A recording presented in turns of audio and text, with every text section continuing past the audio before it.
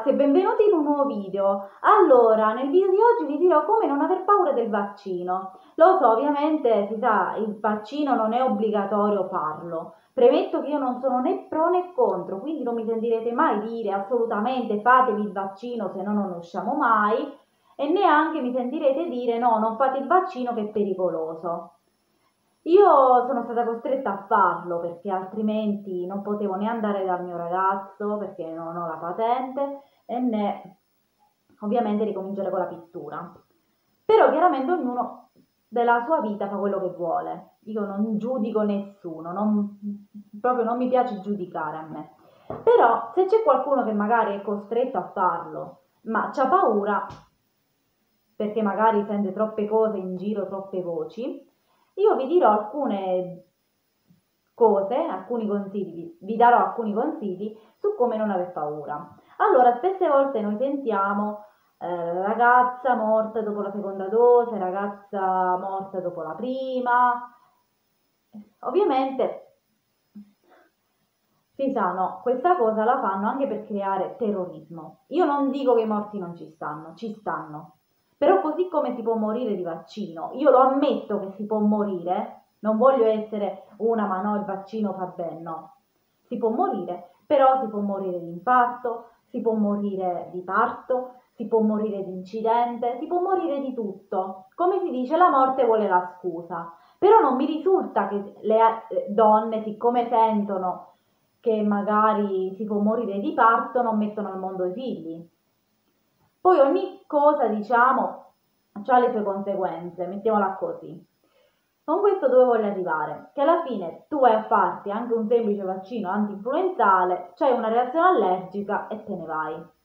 E, e purtroppo è la vita fatta così. Uno spera sempre di andarsene il più tardi possibile e va bene.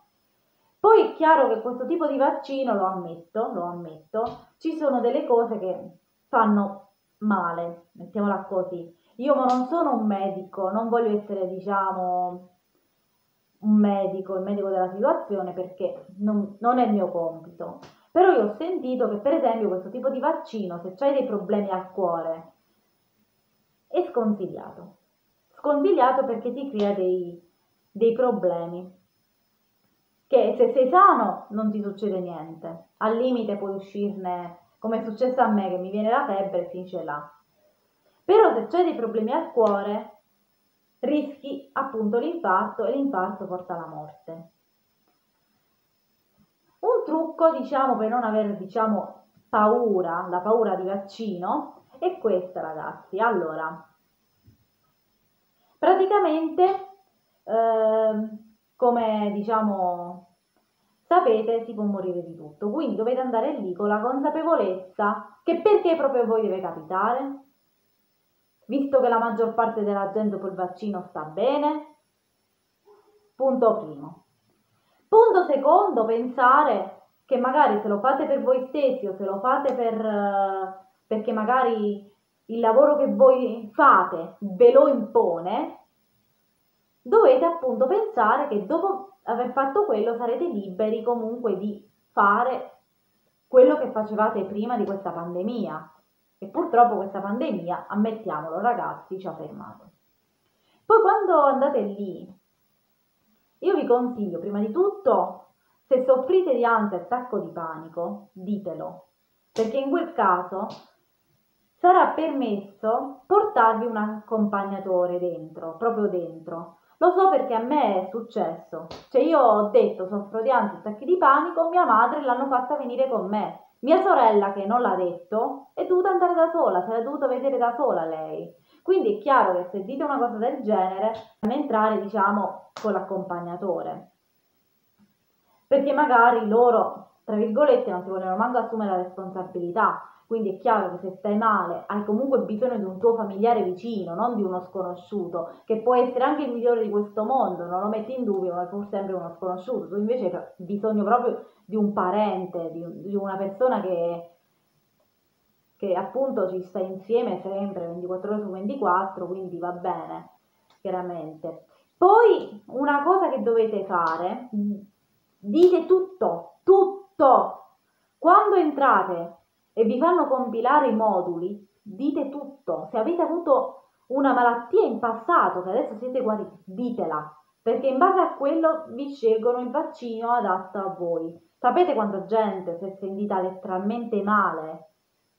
Perché magari in passato, che ne so, aveva avuto il cancro guarito, però non l'ha detto. Allora le hanno fatto un vaccino diverso è stata male questa persona. Io invece ho detto tutto. Io anni fa ho avuto la mononucleosi, l'ho detta. Ho detto che soffro di anemia, ho detto anche che soffro di ansia e attacchi di panico. Ma cosa c'entra l'ansia e attacchi di panico con il vaccino? Se è una questione psicologica. Bene, il medico deve sapere anche quello. Infatti il ragazzo che mi ha accolto mi ha detto il medico deve sapere tutto, tutto.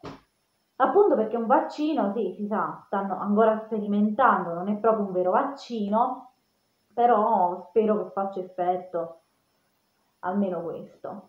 Poi il consiglio che vi do, se siete in ansia, portatevi le cuffiette e ascoltate della buona musica o perlomeno fate come ho fatto io, vedete qualche serie che vi piace, perché tanto comunque lì l'attesa è lunga, cioè lì ci sta una bella fila per, piena di persone che devono vaccinarsi, quindi praticamente non è che andate e state, No, non funziona così purtroppo.